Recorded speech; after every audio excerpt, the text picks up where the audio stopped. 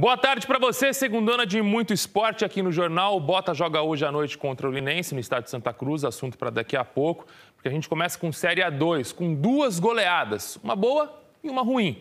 Primeira boa, né? O Sertãozinho não teve dó, muito menos piedade e fez 4 a 1 no 15 de Piracicaba. Os gols do Sertão solta aí agora. A galera em Sertãozinho cantou, vibrou e viu o time dar um show no Fredericão. No sábado, o Touro comeu a bola, atropelou o 15. Desde o apito inicial, o Sertãozinho foi só pressão. E não demorou muito. 16 minutinhos para o Felipe Dias aproveitar a cobrança de escanteio e desviar para o fundo da rede. 1 a 0 Sertão. Menos de 10 minutinhos depois, o passe foi do Tito. E o toque do Matheus Cancian foi de classe. Aquele tapa bonito para a bola morrer lá no cantinho. 2 a 0.